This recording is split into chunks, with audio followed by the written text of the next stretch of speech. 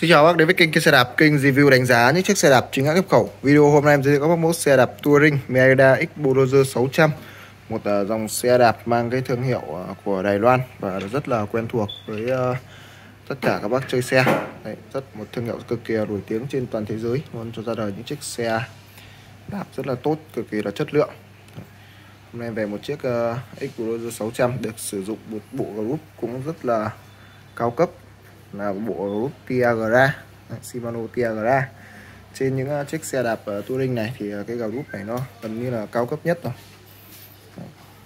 Sử dụng một bộ group của xe đua Tiagra tay bấm xả này dành riêng cho cái uh, group này này.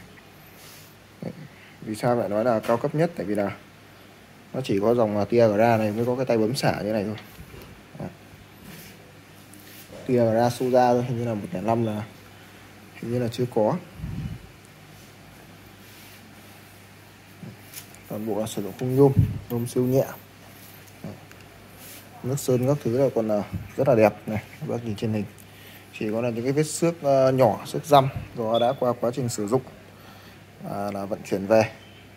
Nên là nó xuất hiện à, những cái vết xước nhỏ xước răm. Không thể tránh khỏi. Còn à, về tổng thể xe thì à, màu sắc rồi form dáng và sơn chi là còn à, tương đối là mới.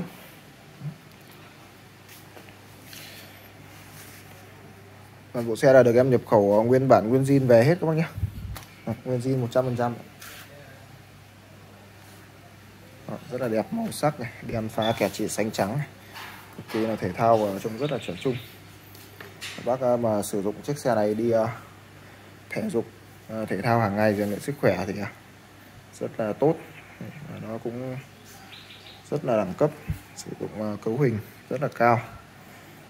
Đi hội nhóm thì à, cực kỳ là hợp lý. Vẫn còn là nguyên à, tem đăng kiểm.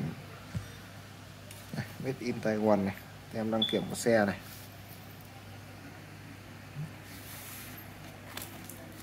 Để đóm thì cũng còn tương đối là đẹp sẽ thấy những cái vết xước do đã qua quá trình sử dụng rồi. Còn về chất lượng thì à, cũng còn à, rất là ngon. Để tia vào ra, đùi đạp trục rỗng.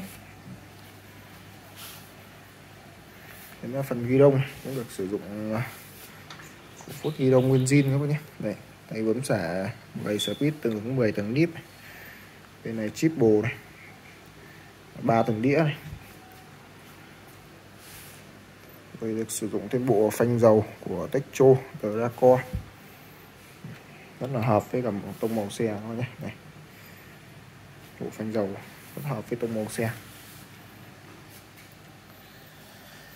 Mayer thì uh, toàn bộ được sử dụng là Mayer của Vuelta và là bi vòng. Sử dụng bi vòng trước sau.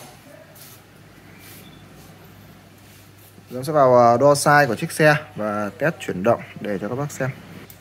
Xe xe đo từ tâm trục đạp đến khóa cọc yên là 48cm Từ khóa yên tới tâm cổ phút là 52cm Thì à, xe phù hợp với bác đi từ khoảng 1m65 đến 1m75 Đi là phù hợp.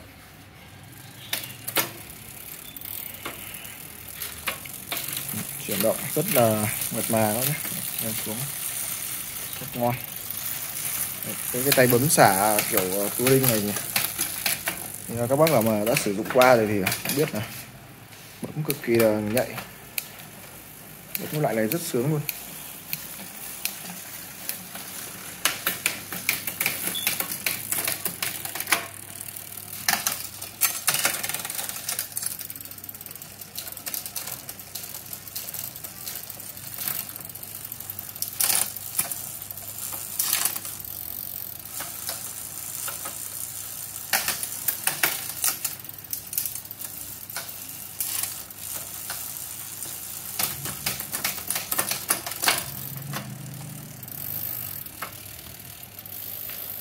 Thì, uh, chiếc xe này đang được bán với mức giá là 13 triệu 800 bao ship toàn quốc cho tất cả các bác chuyển hết 100% tiền và bảo hành một năm cho các bác mua xe.